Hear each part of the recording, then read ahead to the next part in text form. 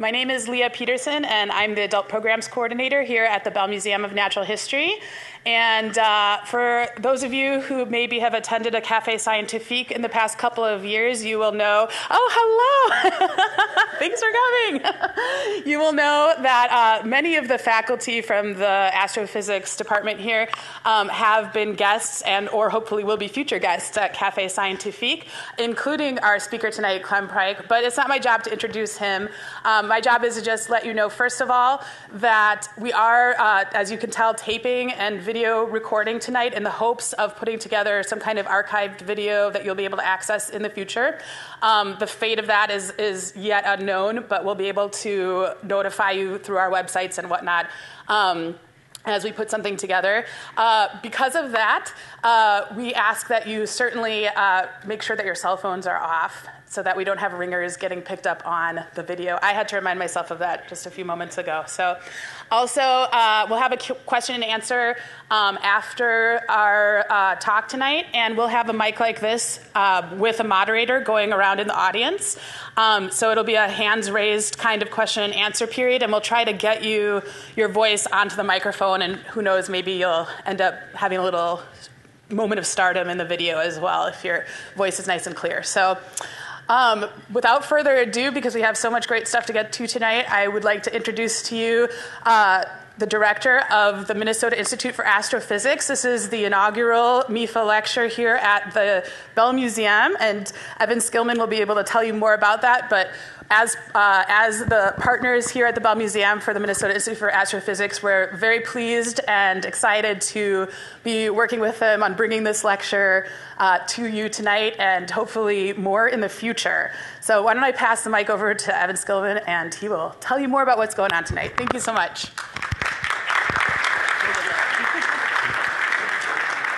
Well, thank you so much, Lee. It's, uh, it's just great uh, to be able to work you, with you and all your colleagues at the Bell to be able to present this. And as she said, this is our first lecture in a lecture series. I have a very short story about that. I don't know, how many of you were here two years ago for Karlis Kaufmanis' lecture on how I killed Pluto and why it had it coming? Can I see my hands? Okay, so it was a fantastic, fantastic lecture, and I was in the audience, and he told a tremendous story. And it struck me at the time that within our institute here at the University of Minnesota, we have so many wonderful stories that we're not sharing.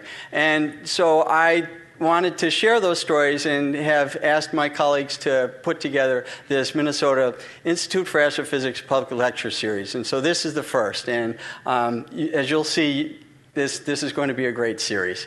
Uh, the overview for tonight, we'll have Clem will give his talk. Uh, we'll have plenty of time for questions afterwards. And then when the questions, when you all, you know, had your questions answered, you can go back through there and in the Bell Museum is this exhibit, Eyes on the Universe, and we have plenty of time. That exhibit will be open and free to you to go peruse until 9 o'clock this evening, okay? So after the lecture, question and answers, and after the question and answers, then you can go down and look at the Eyes on the Universe exhibit, okay? Um, the final thing I have to do tonight is to introduce Clem. Uh, Clem has been at the University of Minnesota for four years, and as you will see, we're extremely proud to have him as a colleague. Um, it's very excited. It's no accident that we chose him for the first lecture. Uh, you're just going to enjoy this so much. And so, without further ado, I'm going to hand over to Clem. Well, thank you very much, uh, uh, Evan. So I'm going to dim the lights a little here. Uh, so you will have seen the, the video that was playing uh, as you came in, and that was, a, that was our telescope. I'm going to play it again, I think, because uh, to explain what you're seeing here. Turn the sound down.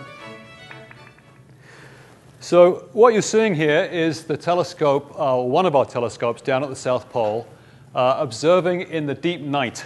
So uh, as I will come back to a little later, at the South Pole uh, in Antarctica, there's one day-night cycle per year, right? You're on the Earth's rotational axis. So that means that the sun spirals around, goes up, and then spirals around and goes below the horizon and stays down for six months and about five months of complete darkness. And so this is the telescope doing its, its observations in the deep night.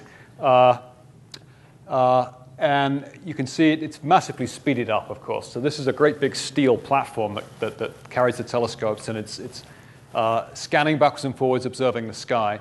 Very speeded up. So these scans take about a minute, and you're seeing them in a, in a, in a second or so. You can see the arc of the Milky Way in the night sky above, uh, and the Earth rotating, right? So if you're at the South Pole, the night sky just goes around and around above the zenith, above the, the straight up direction. Uh, you can see the Milky Way, you can see some uh, shooting stars going across, you can see satellites uh, going across, and you can also see the aurora coming and going, the, uh, the southern lights. Uh, actually, they're just reached a dim point as I, as I uh, mentioned them. But uh, our telescope is completely insensitive to all of those things, right? It's looking way, way further out into the cosmos, and uh, I will explain uh, what it's all about. So here's a different picture. It's actually a different telescope, but very similar. This is the main one that I'm going to be talking about this evening, the BICEP 2 telescope. And it's sitting inside this bowl shaped ground screen, the objective of which is to protect it from radiation coming from the ground, because we want it only to see radiation coming from the sky, from the cosmos. You can see uh, the uh, uh, sunset occurring in the distance there, a very emotional event for those foolish enough to witness it, right? Because if you see it, in fact, if you miss the last plane, which is considerably before sunset, then you're stuck there uh, through the long night, uh, waiting for the, the, the, sun, uh, the, sun, to come back so you can leave, so the planes can uh, fly again. So, uh, projected onto the sky here is a kind of artist's impression of the, the polarized pattern that we measure with these telescopes, the polarization of the so called cosmic microwave background. I'm going to explain much more about what that is.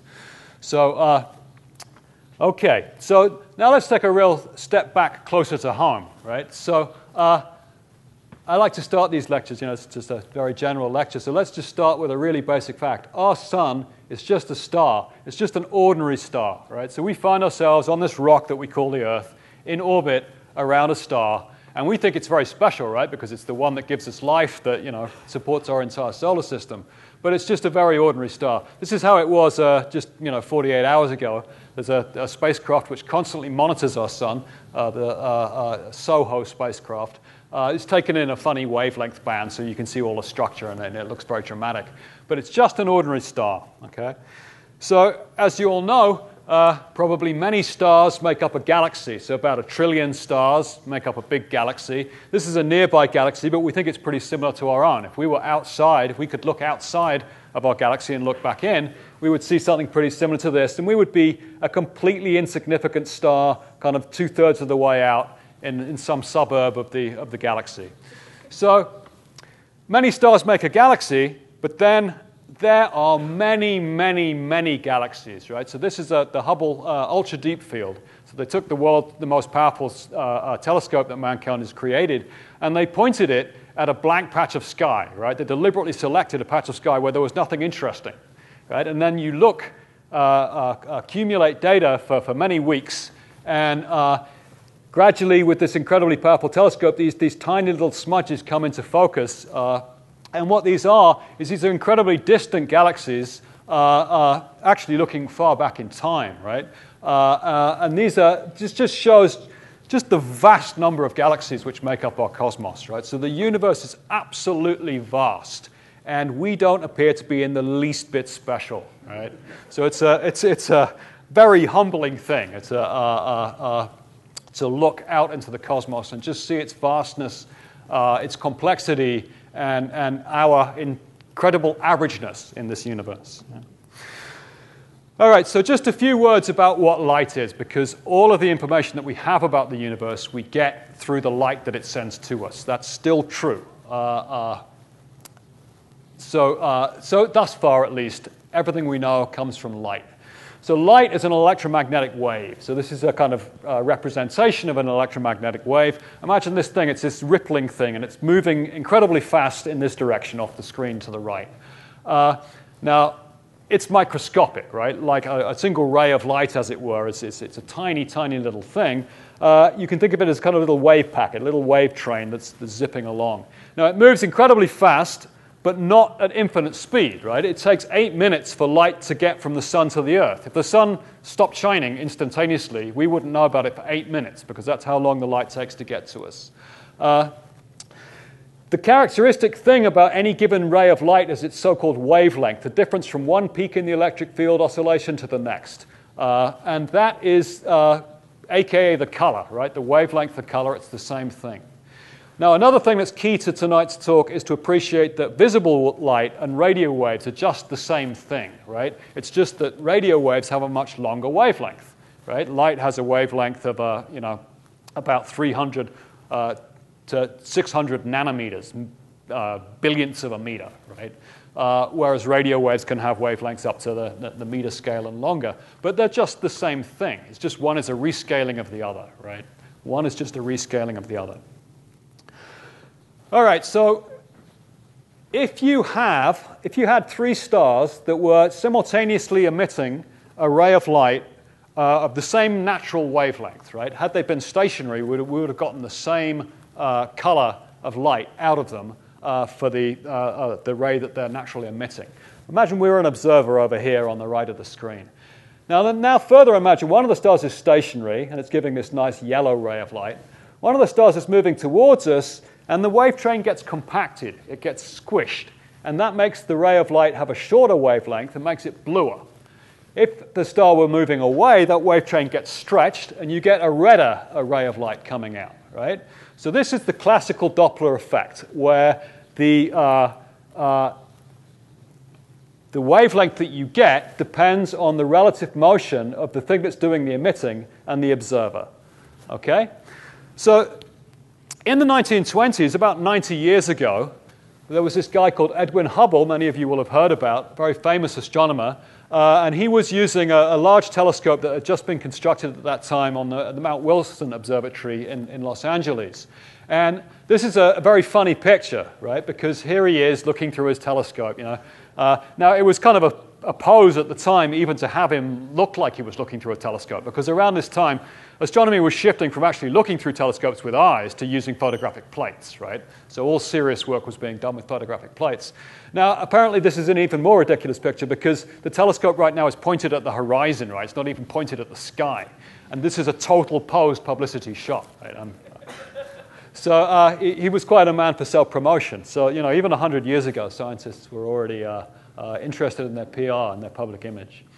Anyway, what he did, and he was a great, very brilliant man, he used this, this massive telescope that had recently been built, built to look at uh, rays of light from distant galaxies and uh, look at how the light from those galaxies had either been stretched or compressed. Right? He was measuring the Doppler shift, apparently, of the light from those distant galaxies. And he could also get, by independent means, a handle on the distance to the galaxy. So this is the plot that he drew, the famous Hubble diagram. On the x-axis, you've got the distance to the galaxy increasing. On the y-axis, you've got the apparent recessional velocity, the apparent, uh, uh, the, the redshifting of the light, the amount the light was being stretched from that galaxy.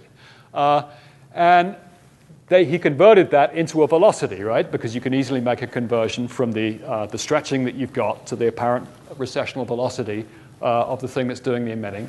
Each point was a galaxy. Each point on this diagram is a galaxy. And he found that the further away a galaxy is, the faster it appears to be moving away from us. Okay? And this is a very, very perplexing finding. I suppose he was expecting to find some of them are moving towards us, some of them are moving away. On average, you know, everything's just uh, uh, squirreling around like fish in a fish tank, right? But uh, instead, he got this very bizarre result. The further away, the faster it appears to be moving away.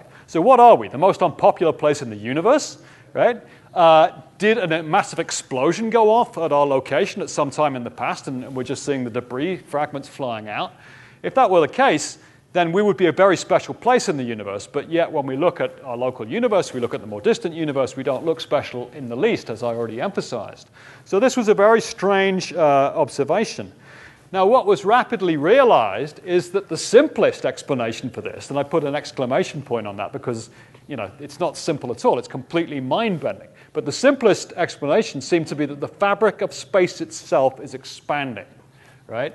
So this, this uh, uh, cartoon shows an analogy. Now let's imagine that, uh, uh, let's imagine a two-dimensional universe which is on the surface of a three-dimensional object, like a balloon, right? Now you can extend the analogy and you can say that we're a three-dimensional universe uh, embedded in some four-dimensional space, right? Now, don't try and picture a four-dimensional space because you can't, right? But we can picture three dimensions and two dimensions. So let's imagine that the space is the surface of the balloon, the coins stuck to the balloon are galaxies, and the balloon is inflating, right? It's getting bigger. And so if I'm sitting on any given galaxy and I look out at the surrounding galaxies, they all appear to be moving away from me.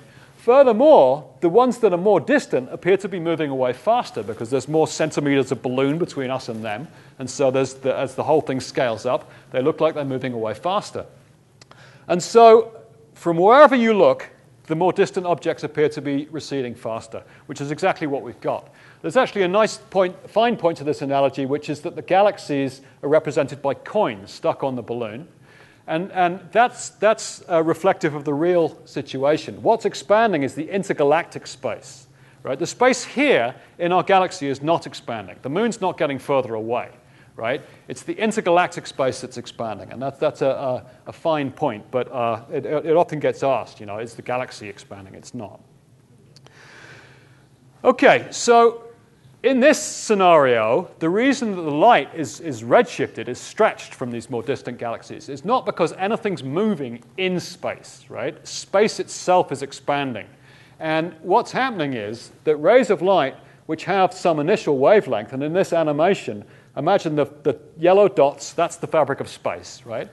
We are the white one in the middle, but you could just recenter the thing on any of them and it would appear the same. Now let's imagine we're the, the stationary one in the middle apparently stationary one in the middle.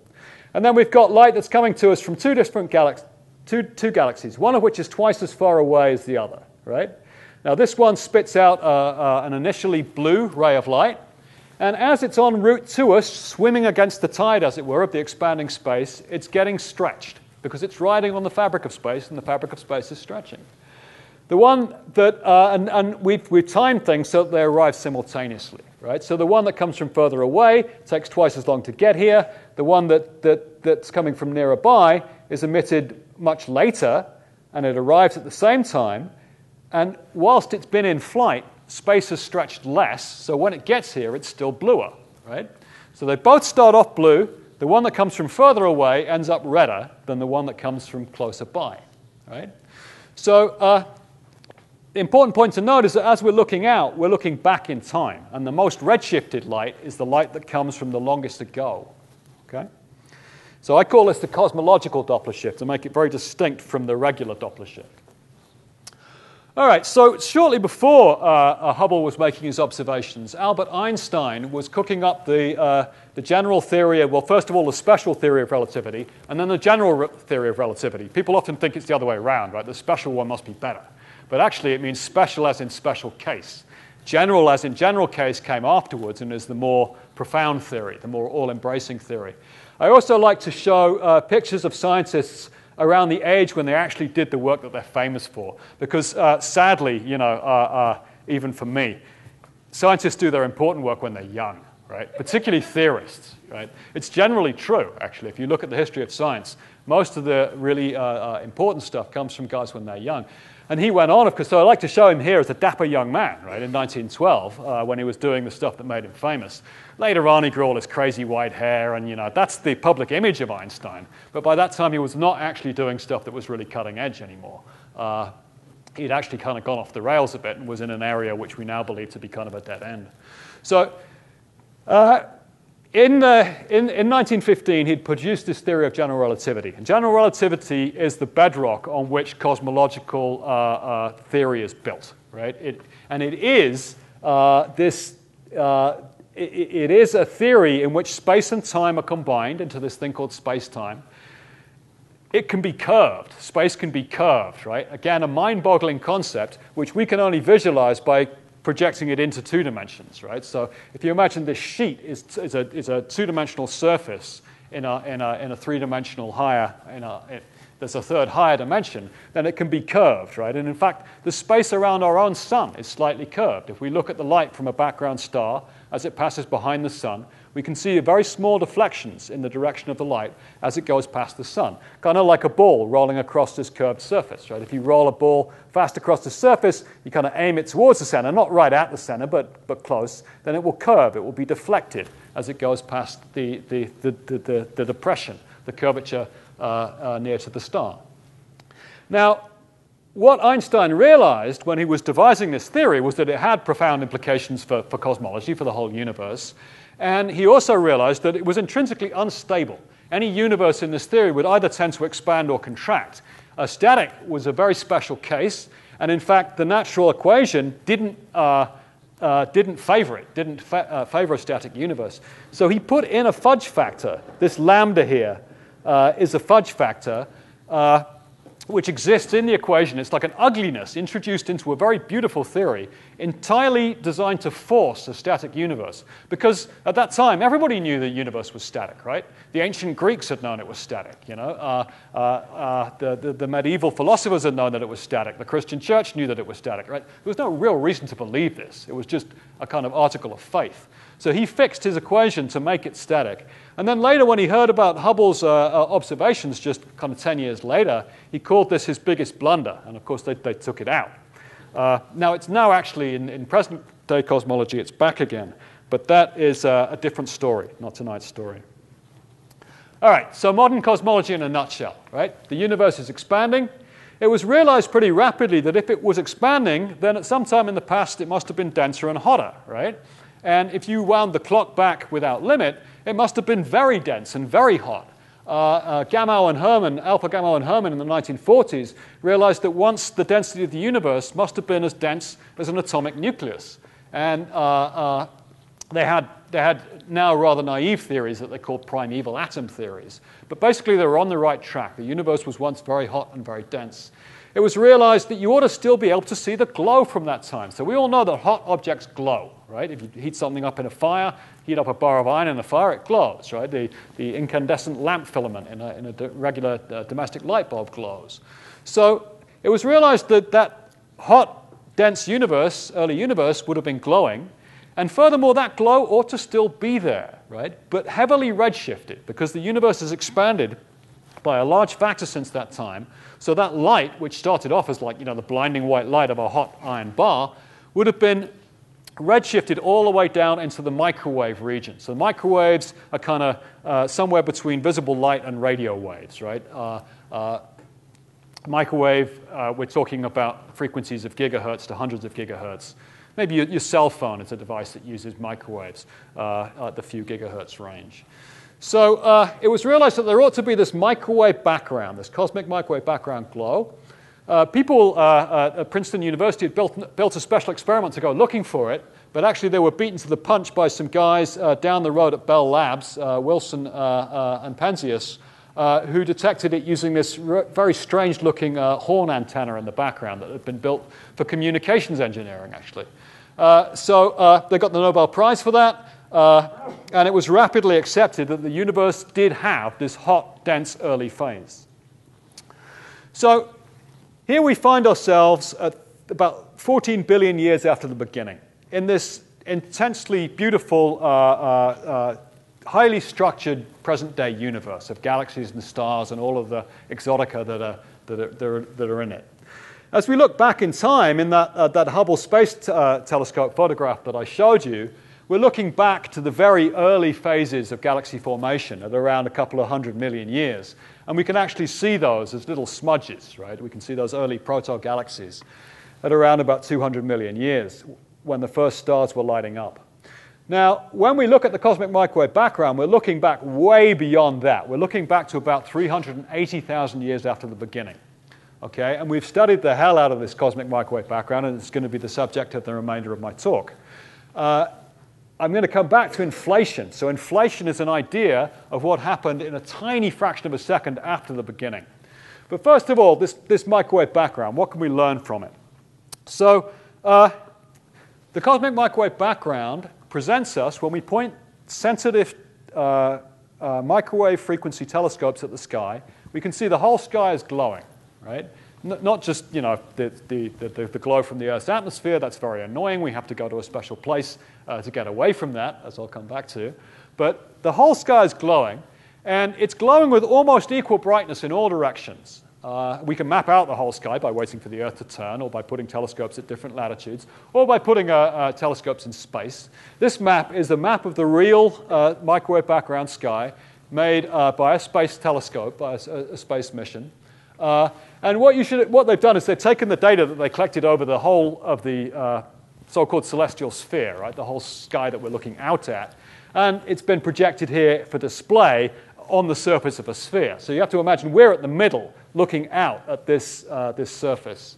And it has almost equal brightness in all directions, but there are some little ripples and dimples in, in that brightness of glow. And they have been measured very well now. Uh, and what they represent is very small variations in the brightness, in the density, in the temperature of the universe uh, as it was at 380,000 years. Now, of course, at that time, the whole universe was glowing, and uh, it went through a phase transition. It went from being a plasma, like the plasma inside a, a fluorescent lamp, to being neutral gas, like the air in this room. Now, a plasma is constantly rescattering the light, right? Scrambling its direction. But a neutral gas is transparent.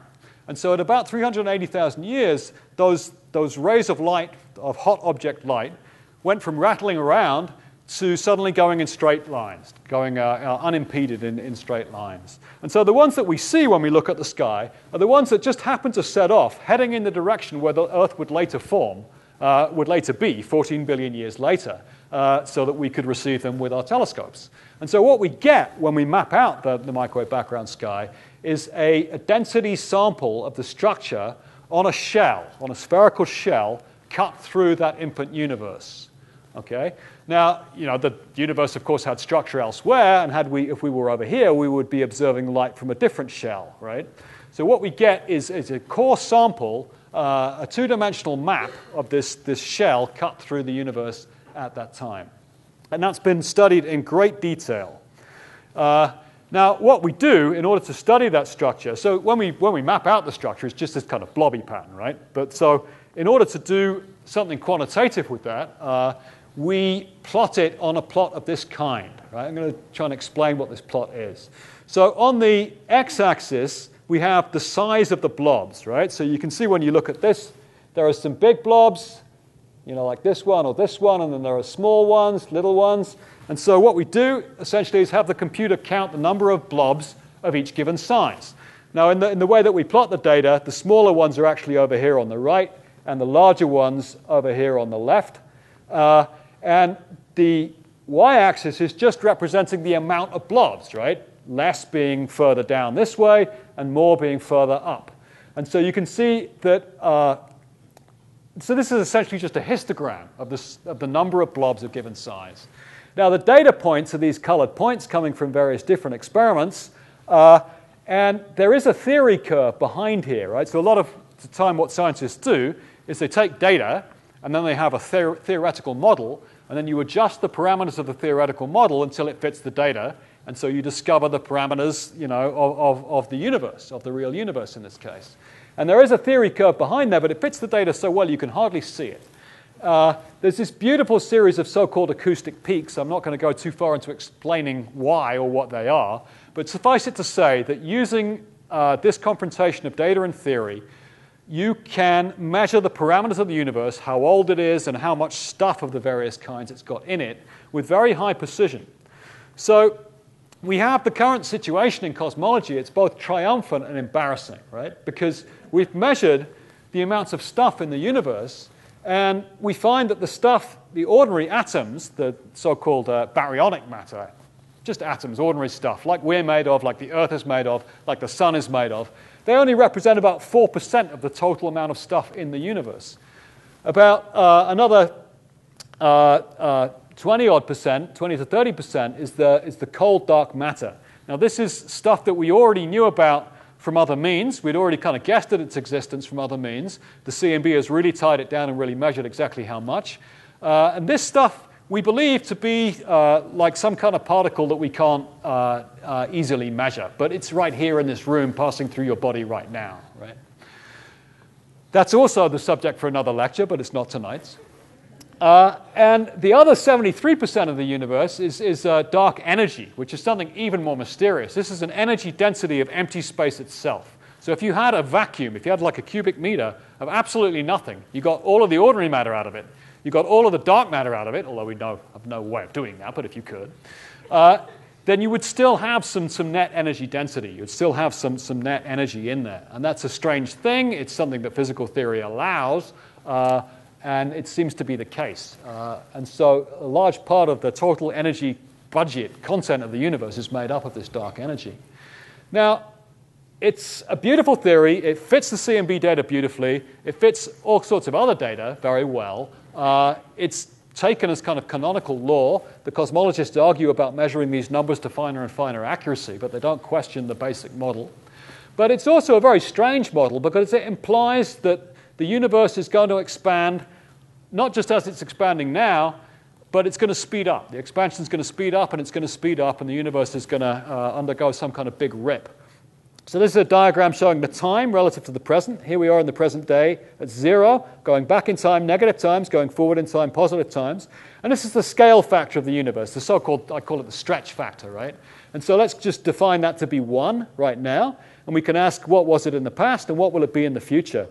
And the, the observations say that we live on this red line.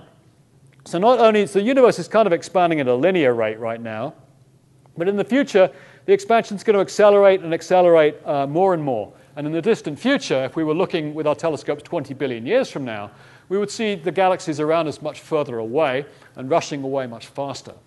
So it's, it's, it's kind of a, a, a, funny theory to have turned out to be the true one, right? It's not one that you probably would have guessed.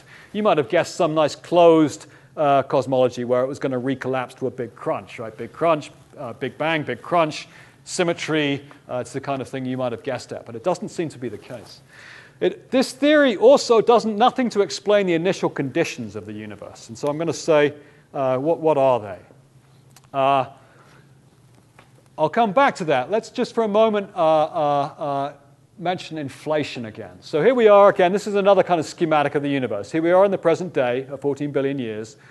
Here's where the microwave background comes to us from at this point where the universe makes the plasma to neutral transition at 380,000 years. But this is a very, this is a very logarithmic time scale now. So now we're going back in time three minutes. It's only, you know, it's a, it's a big increment. Uh, uh, uh, nuclear fusion occurs at a few minutes, right? That's when the, uh, the nuclei of the atoms are formed. And then as you go back in time, to kind of microsecond time scales. These are energy scales, these are temperatures which we can recreate on Earth in particle accelerators, uh, but they're very, very high temperatures, you know, kind of billion degree temperatures. Uh, now, we can trace using particle accelerators the, the physics of how matter behaves all the way back to a very early time, about a nanosecond or something. Now, inflation is a proposal for what happened at 10 to the minus 32 seconds. Now, what the hell is that, right? So that's, that's 0.00032 times 1 of a second, right? So a billion, billion, billion, I, I, don't know what, right? Some tiny, unimaginably small fraction of a second. Now, the idea is that inflation uh, occurred at this time, at this very high energy scale. And what it does, as I'll explain in a moment, is it solves the so called horizon and flatness problems.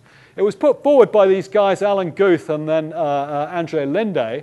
Uh, they were very famous for it. I tried to find pictures of them when they were young, but I didn't really succeed. So they were much younger than this when they came up with this theory.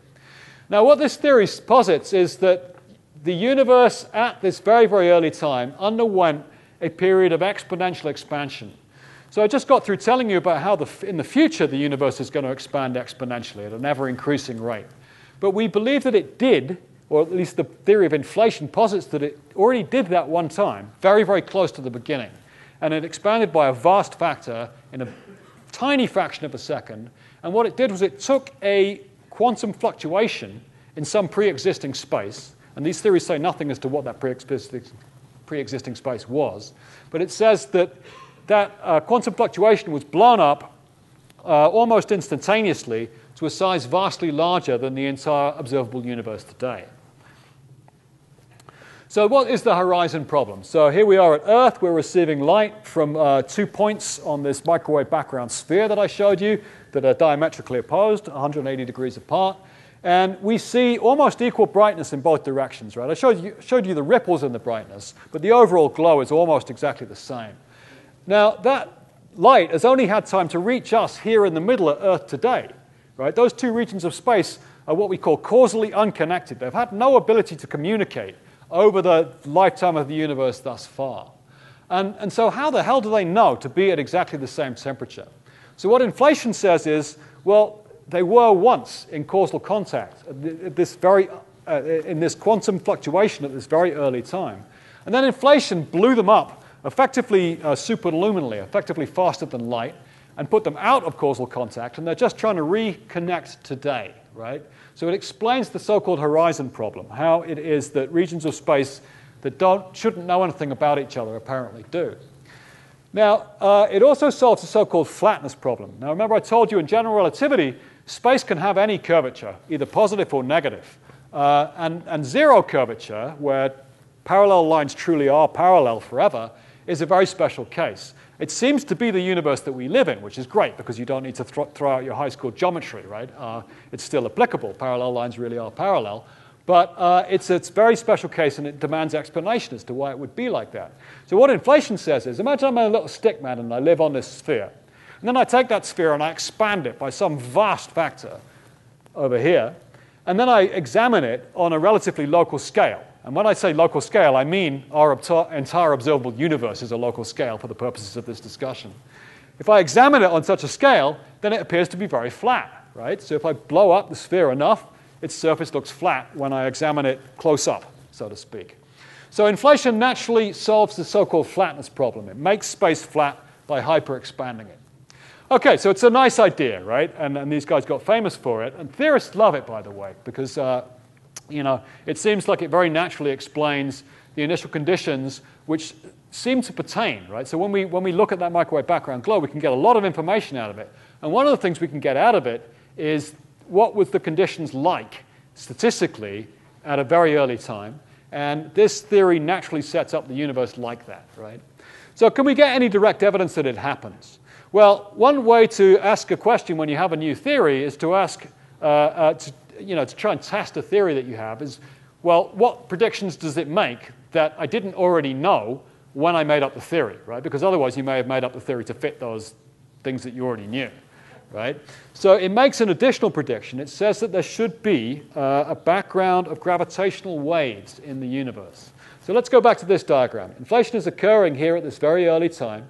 It injects into the fabric of space time uh, fluctuations, perturbations, uh, blobs, if you like, right?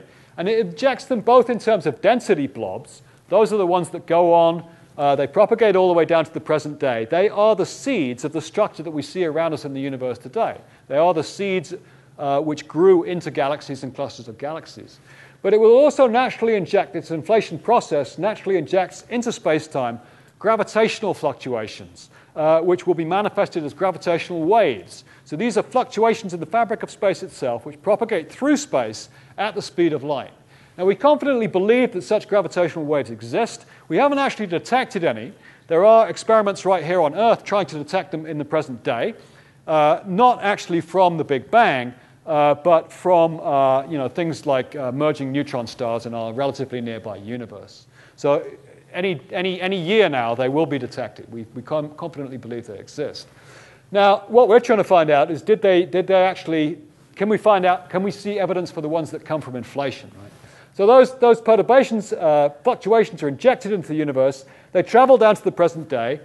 Uh, they are present here today, although it would require a detector uh, kind of on the scale of the solar system to detect them. There are actually plans uh, for decades in the future to build such a thing.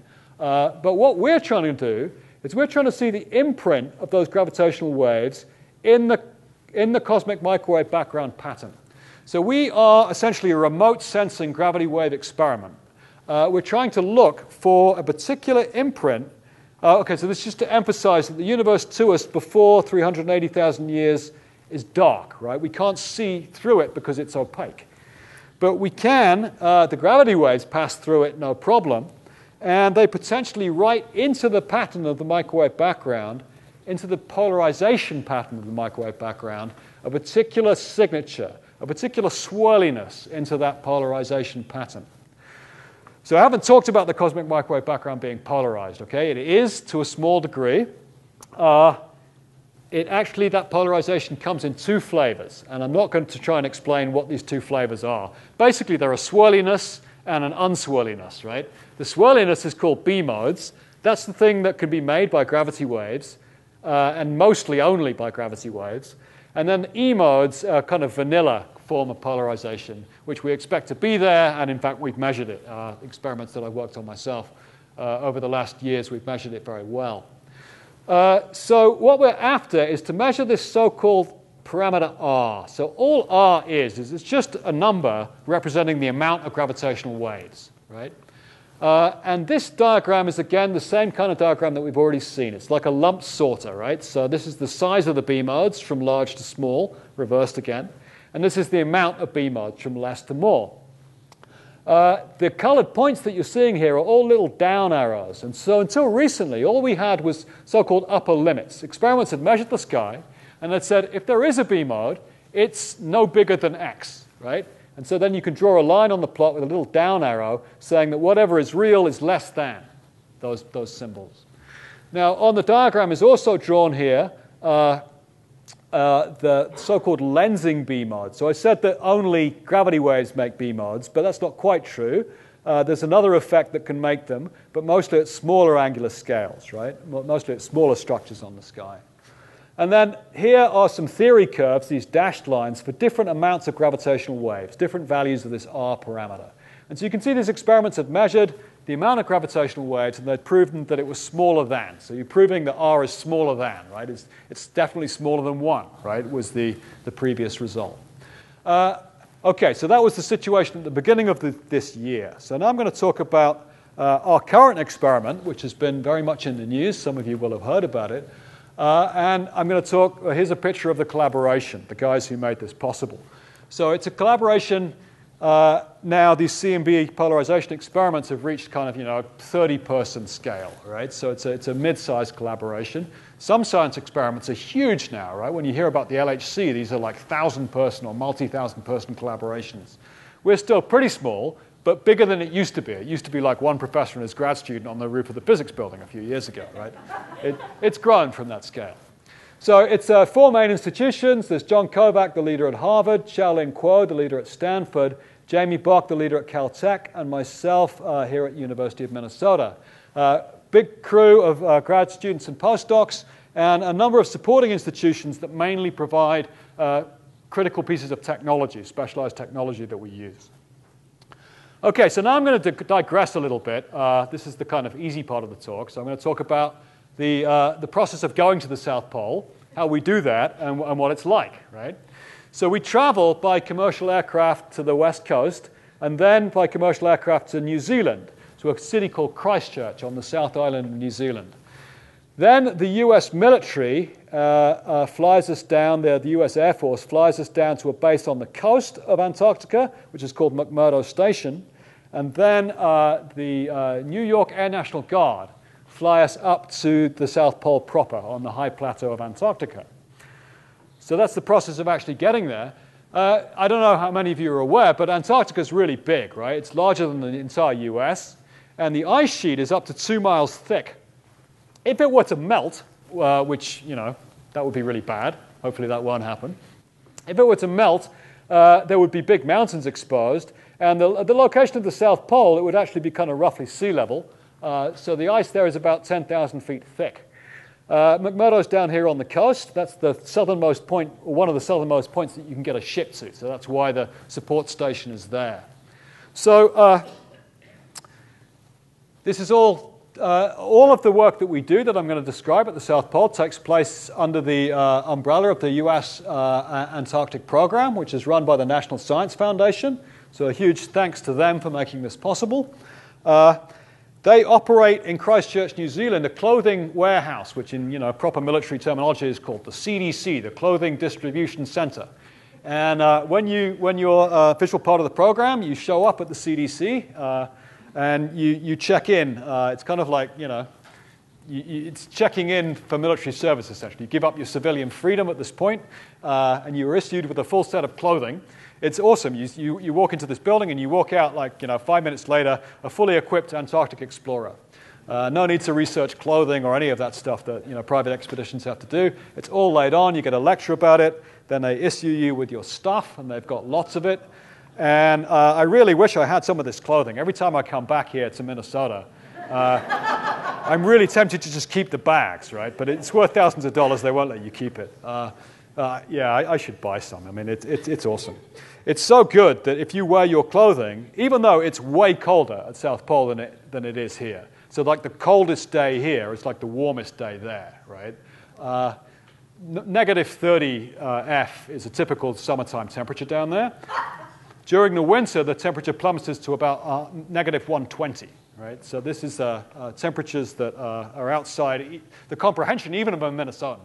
but if you wear your gear, certainly during the summertime, you'll be just fine, right? so then we fly down to, to McMurdo. Here's a picture of me having just come out of this C 17 aircraft uh, on the ice at McMurdo, or near to McMurdo. McMurdo is the supply base on the coast. It is a uh, kind of grungy place. There's huge uh, uh oil storage drums. Uh, uh, there's a, a, large base. It's a big cargo yard, right? This is a logistics base for the entire U.S. Antarctic program. And it's kind of what I imagine a mining town in Alaska would be like, right? It's kind of populated by the same kind of people as well, I think. Uh, from there, we fly on up to the South Pole proper over the transantarctic mountains. And these are like, you know, 10,000 foot mountains buried in the ice, right? Just, just peeking up above the ice. You fly up over those to the high plateau. So there's no no means to get any scale in Antarctica, right? I mean, you're looking at this picture and it doesn't look that impressive, but these are massive mountains and huge glaciers.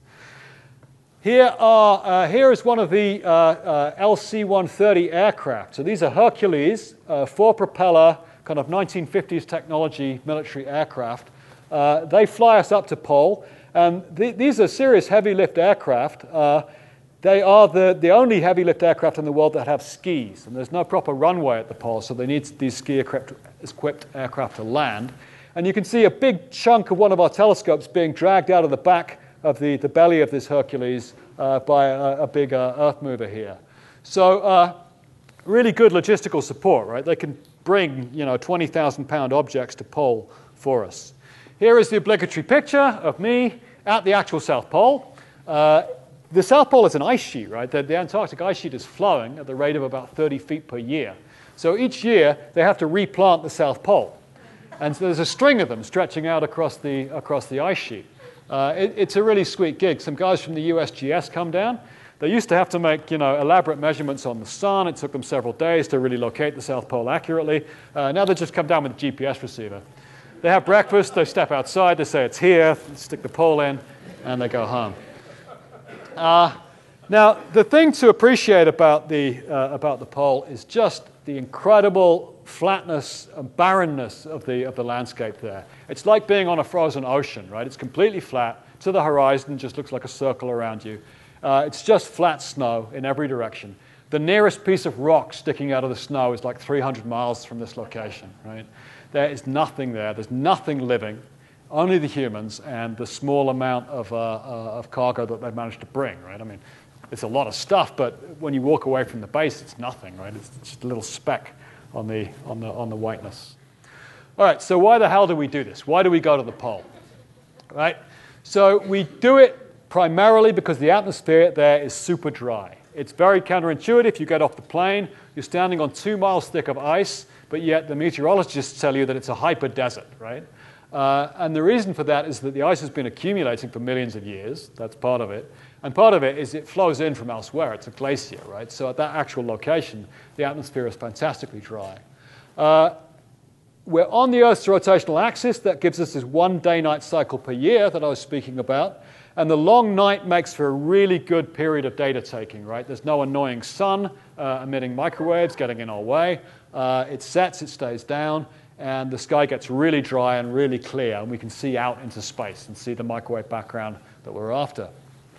There's really excellent support infrastructure. There's power, as I just showed, there's cargo capability, there's data communications via satellite to get our data out. Uh, there's food and accommodation provided, and there's even extremely limited entertainment. so, great place to operate. Uh, so I just want to re-emphasize the crew of postdocs and, and, graduate students that make an experiment like uh, uh, uh, ours possible. And I also want to make a special shout out to the winter over, the guy who stays with the telescope through the long night, keeping it running while it takes uh, the, the, best data. And so for BICEP 2, it was uh, Steffen Richter in 2010. In 2011, it was Steffen Richter. And in 2012, it was a guy called Steffen Richter so this guy did three back-to-back winters, right? Uh, through, uh, which doesn't mean he was there for three years straight. He gets to leave for about two and a half months in the summer. He gets well paid. He has no expenses while he's down there, so he can go anywhere in the world and do anything he would like to do. But then he has to come back uh, to man the telescope through another winter. Uh, and we are really fortunate to have these individuals that we've managed to find who can stay sane through this process, right? Steffen, although he's shown here smiling, he copes with it in the, in, in the manner of being grumpy all the time and not getting any grumpier. Right? We've got another guy who does it by being happy all the time, but, but they can do it. They have a special mental uh, capability to, to, to, to, survive, and to survive, and not only to survive, but to remain functional and professional and, uh, and on the case through the long winter. Okay, so a few words about the technology behind our telescopes. So it's, it's, it's a succession of telescopes. There's BICEP 2, which was the successor to BICEP 1, which ran a bit earlier. The currently running experiment is array, and just on its way to pole right now is BICEP 3. Now, what these telescopes do is they're just a relentless scaling up of the number of detectors, of the amount of sensitivity, right? So these are small, compact telescopes. Uh, in the focal plane, this focal plane here is shown, it's about a foot across, right? This is about the size of an LP record for those of you old enough to remember those. Uh, the little uh, colored dots here represent the pixels, the detectors, essentially the little reception spots on the sky that the telescope is, is collecting radiation from. So BICEP 2 uh, scaled up from BICEP 1. It used this new flat focal plane technology, which is mass re- reproducible. And so for Keck array, you just take that and multiply the same concept by 5 and just have 5 of them. BICEP 3 takes that and then puts all of those into a single focal plane and then the logical extension would be to build an array of those, right? So this is just a, a constant scale up in terms of sensitivity to get down to the levels uh, that are interesting scientifically. So BICEP, uh, the BICEP telescopes are very simple. It's just the same as a backyard telescope. It's got two lenses, uh, an, uh, an, objective and an eyepiece lens. That's that focal plane I was just showing you a picture of down here. So the light is, is funneled down. The microwaves come in from the, the cosmos. They're focused down onto the focal plane. You can see a diagram of the focusing going on here. And each of those pixels in the focal plane, each of those detectors is sensitive to radiation coming from a little spot on the sky. Okay? This whole thing's about uh, you know, four feet long, five feet long, a couple of feet across. It's housed inside a vacuum vessel, and it needs to be housed inside a vacuum vessel because it's cooled to a quarter of a Kelvin above absolute zero. We need to cool it that much to get the lowest possible noise performance out of the detectors, to get the highest sensitivity to that radiation from, from the cosmos. Uh, so just to zoom in, here is, here's the focal plane again. It's got four tiles. This is about four inches by four inches. Zooming in on one of the tiles, you can see that it's an 8 by 8 array of pixels. Zooming in on one of the pixels, you can see that each pixel is a 12 by 12 array of little antennas, little slot antennas. So each of these is a couple of millimeters long, and those are the things that are actually picking up the radiation, picking up the microwaves. That radiation is then summed up in a summing tree, which you can see the kind of, it's kind of like lines on a circuit board almost and the radiation is piped down into a thermally isolated island, so an island that's supported by very skinny legs, whose temperature is, uh, uh, is then uh, raised uh, by the, the radiation coming in and then converted back into heat in a resistor here. And then there's a thing called a transition edge sensor, which is a super sensitive thermometer which measures the temperature of that little island. And so the net result of this is that as you take the telescope and you scan it around on the sky, each of those little reception spots is moving, and so it's going from places where the sky is hotter to colder and hotter to colder. And uh, the temperature of this island actually tracks, the actual physical temperature of the little island tracks the temperature of the radiation coming in, the intensity of the radiation coming in, and then we get to read it out as a voltage. So uh, it's very, very sen- uh, uh simple concept. The telescope scans around. It's a little movie. It's a movie taken during the daytime now. You can see it scanning backwards and forwards left and right on the sky, speeded up by about a factor of 60, scanning backwards and forwards, making a raster map of the sky. Then it does little dip moves, little calibration moves, then it goes back to scanning at a slightly different elevation. So we make a kind of like an old style TV, raster scanning TV pattern. Uh, we make a raster map of the sky. So here are the maps. Uh, on the, the left here, the so-called uh, the signal maps, where we just add up all of the data together. On the right here is a so-called jackknife map where you deliberately cancel out the sky signal. This is looking for jackknives. It's a little too technical for this audience, but uh, just to, to, let you know that we do that, that test. So this is now uh, a movie that integrates down. So what we're doing here is we're making maps and we're adding in more and more data over a three-year time scale, 2010, 2011, 2012. As we add in more data, the signal maps on the left here converge to a particular structure. That is the actual polarization structure of the, of the sky. Whereas on the right, the jackknife maps just get, keep getting cleaner and cleaner as we uh, average down the noise. So that's the, the, the basic map making procedure. Uh, so let's express those maps as little polarization pseudo-vectors, right? So I haven't talked about polarization or how the microwave background gets polarized. I'm sorry I don't have time. Uh, but you can express polarization. It's, it's a property of light that has a direction, right? And so you can draw a little arrow on the sky that shows the size and the direction of the polarization at that particular point on the sky. This is just a map of a chunk of the sky, right? A little box on the sky. Uh, now, this is the total polarization signal. So now let's uh, extract the B mode contribution to that, right? So you've got this pattern of polarization. Now let's look for the swirliness in it which is going to be the signature of gravitational waves? Well, first of all, you can see uh, that there's very little, right? So most of the polarization that we measure is not the thing that we're after. It's not the magical B mode that we're after. Now, if we blow up the scale of this diagram by a factor of six, then you can see the swirliness, right? So this is a real B mode that we've detected on the sky. The first time it's ever been done. Uh, now, you can say, okay, well, that's just a swirly pattern. How do we know it's real? And that's a very good question, right? So, in order to know that it's real, we have to do simulations of the whole experimental process. Very computer intensive simulations.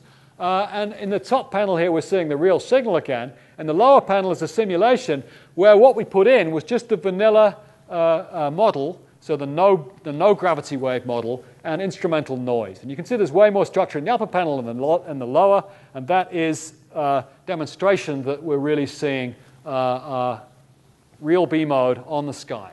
Right? So now let's plot that again in this form where we have the amount of the size of B modes on the x-axis going from larger to smaller, and the amount of B modes on the y-axis going from less to more. The black points are the real data, right? So that's the data that we've measured. That's the histogram of B modes uh, uh, on the sky. The solid red line is the vanilla model. That's what we would expect to get. We would expect to get points that scattered around that solid red line if that was all there was, if there was no gravity wave uh, contribution. Uh, the upper dashed line here is what we would expect to get if there was gravity waves plus that vanilla model that we expect to be there. And you can see that the black points look like they agree with the dashed line much better than they agree with the solid line. In fact, the chance to get the black points, if in fact the red solid line is reality, is about 1 in 10 million right? So this is a very high, uh, so-called high significance detection of gravitational waves. Well, sorry, I should rephrase that. It's a high significance detection of something other than the vanilla model. All right, so what is it, right? Is it really the thing we're after, or could it be something else? So the number one thing, something else that it could be, is experimental systematics. But we think we've ruled that out, right? We've done all of these jackknife tests, uh, and we're very confident that it's not experimental systematics. So could it be so-called foreground contamination from our galaxy? So remember, we're in a galaxy, and we're trying to look at uh, way out into intergalactic uh, space, uh, uh, but the galaxy is between us and that. And so it can also emit and put radiation into our telescopes, which could confuse us, right? So the first of all, the, the first thing we do is we just pick a patch of sky which is known to be uh, very low in terms of galactic emission. Our galaxy is a disk-shaped structure, right? So if you just look up or down out of the disk, you can find areas of sky where you've nearly got a clean sight line into intergalactic space. But uh, no sight line is completely clean. Now, this is the uh, this is a slightly different diagram than the one that I've been showing you. So this is the amount of contamination on the y-axis. This is frequency at which you're observing, right? So we can tune our telescopes to any frequency, to any color, as it were, of microwaves. Uh, we choose to tune to about 150 gigahertz. That's because at lower frequencies, going down in frequencies to like 10 gigahertz, for instance, there's very strong synchrotron emission. So what is synchrotron? Well, it's, it's, it's, uh, it's high energy electrons spiraling in the magnetic field of our galaxy, and they, they emit very annoyingly radio waves, right? So at low frequencies, the sky is glowing with, with, with synchrotron radiation from our galaxy. At high frequencies, it's glowing with uh, thermal emission from dust grains. Our, our, galaxy is full of dust grains. They're actually critical to the formation of stars. We wouldn't exist if there were no dust grains in our, in our galaxy. But again, they're very annoying to uh, CMB scientists like myself because they emit, uh, and they emit uh, a certain amount of polarized radiation. And so at high frequencies, that's the dominant effect. So this is a projection that was made before our experiment saying that the sweetest spot would be at around 150 gigahertz, and the emission there, the contamination there would be very low. It would be small. It would be much smaller than the size of the signal that we seem to have seen. So that was the situation uh, uh, uh, at the beginning of this year when we were, you know, studying our data. We'd been working on our data for like two years, right? Convincing ourselves that the signal was real uh, and, and not some artifact of our experimental system. But then the question arises is, you know, how much dust contamination will that be? So we ran a bunch of models that already existed, and we got these projections for how much of these data points we could explain through dust. This is the standard plot again, amount of B modes, size of B modes, and these lines represent the, uh, the output from these various pre-existing models. And you can see it's like a tenth of what we had measured, right? So we were pretty confident that, uh, that you know, what we were seeing was gravitational waves and not dust. Now, nobody really knew, right? These were projections, these models. They're not our models, uh, other astrophysicists have made these models. Uh, but nobody really knew the true level of polarized dust emission except the Planck space mission. So that finished a couple of years ago, but they were still sitting on the data, right? Because, uh, you know, it takes a long time to analyze this data. It's really hard. We struggled with our own data for years. They were struggling with theirs. Uh, now, Here's a picture of this Planck space mission in some very dramatic uh, artist rendering. Okay, so that was the conclusion around uh, March of this year. We'd measured these, these, these, points. We'd gone from having only upper limits to having actual detections of B modes at 150 gigahertz at this sweet spot frequency. Uh, it really did look like the gravitational wave signal that we were after, but there was still uncertainty about uh, the galactic polarized dust emission. Okay, so, you know, cautiously or incautiously, we held a press conference. Uh, it generated tremendous amounts of interest from around the world uh, and in the global media. I was actually kind of surprised at, at, at the, reaction of the global media because, you know, we're talking about 10 to the minus 32 seconds. It's super exotic stuff, right? It's the, the tiny fraction of a second after the Big Bang. I wasn't sure that the, the, the, the global media was going to pick up on it, but they did in a really big way. Uh, Here's some you know, front pages of various newspapers. Funnily enough, USA Today had the best graphic. Right? The Financial Times put up a picture of a pretty galaxy that's got absolutely nothing to do with our work. I was on the TV in the UK. Uh, you know, there was a lot of. Uh, it was on Fox News. It was ridiculous, right? I mean, that was really that was really difficult. That one. Uh, anyway, so there was a storm of attention from the media and the science community. I expected that. Uh, there were many queries about, you know, uh, basically had we screwed it up, right? Was the, uh, was the signal real or was it just uh, experimental systematics? As I've emphasized really hard to get to these sensitivity levels, and uh, uh, you know, there was a lot of concern that, that, that it might just be false signal. That's mostly gone away. I think all of our peers, virtually all of our peers, are convinced that the signal is real. There were concerns about synchrotron emission. They've also faded away. That doesn't seem to be a valid concern. But there were persistent concerns about dust. And most of these were based on analysis of PDF files. Because the Planck guys, although they hadn't released their data, they'd given talks, and then they'd posted the talks online. And so you could download the PDF file and try and extract the data from the plot, right? Ridiculous, right? Really not very good science at all. Uh, uh, you know, I have to admit that we did a bit of that ourselves. We probably shouldn't have done. Uh, other people did it a lot. Uh, Anyway, as of 19th of September, we finally actually have some solid information from the Planck guys. And uh, it does kind of look like polarized dust emission is much stronger than people had previously projected it to be. And possibly it explains all of the signal that we've seen, right? So it's a bummer, right? Uh, for everybody. I think, uh, you know, everybody, certainly all of the scientists would be delighted, would be very excited if this were true it remains unclear, right? So we are doing a joint analysis with the Planck guys right now. In fact, they're coming here uh, next week to, the University of Minnesota uh, to discuss. And we're trying to, by using the two data sets together, it, it, it, together they are, together they're better than the sum uh, of the parts, as it were, right? So the way to analyze this data in the most productive manner is to do a joint analysis, and that's what we're doing. You can also uh, uh, get at whether or not the signal is, is cosmological or whether it's dust uh, by making measurements at different frequencies. That's, of course, what the Planck guys have done at much higher frequencies. You can also go lower, and we've done that ourselves with our own uh, next generation experiment that's running right now.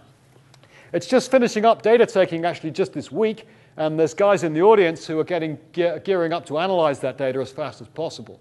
Uh, as I mentioned, BICEP 3 is right now on its way to pole, which will also have a powerful role to play in disentangling this puzzle. So basically, the message right now is to stay tuned, right? Uh, uh, it remains unclear as to whether we've discovered what we thought we had or whether it's uh, actually just galactic dust emission. So uh, the kind of, kind of final thought that I want to leave you with, so, you know, just stepping back from our own experiment, it's just the, the, the, realization that the amount that we've discovered about the universe using the microwave background and using various other kinds of cosmological measurements uh, is just astounding, right? It's really quite amazing that, that we understand the universe right back to a tiny fraction of a second. We know how old it is. We know how much stuff it's got in it of the various different kinds. We know all sorts of things about the, the fabric, the structure, and the nature of the entire universe. And it's really quite amazing that A, that information is available to us, like flowing into the solar system, and B, that we've evolved uh, from you know, apes on the African plains to being able to uh, build instruments that can record that information and, and disentangle it and understand it. It's just an astonishing uh, uh feat of modern science, and uh, I'm really proud to be a part of it. So, thank you very much for your attention.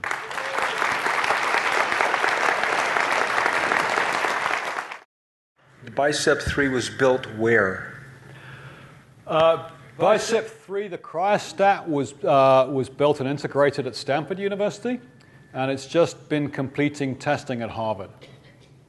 We built some parts of it here, uh, so when it's uh, complete at Pole, it'll have some University of Minnesota parts. It's not been a big emphasis, so we kind of share the work around. Array was, uh, uh, large parts of it were built here. I was just wondering also to Bicep 3, you showed the sensor arrays, and the one for Bicep 3 was asymmetric in contrast to all others. Is there a reason for this? Yeah, I mean, it's a boring technical reason. So, uh, uh, packing the uh, tiles into the focal plane, you would naturally have two more, as you noticed. And it's because the readout electronics comes in discrete units. And so you'd have to have a whole other crate of readout electronics to just to instrument those last two spots in the focal plane, and it wasn't considered worthwhile. It's, it's really hard to get enough electronics onto the cryostat as it is. Uh, what is the current level of funding per year, and how has that changed from one to, to uh, the next stage? So are you, you asking about, uh, sorry, so the question is about the level of funding. Uh, are you asking about our experiment or all of the CMB experiments?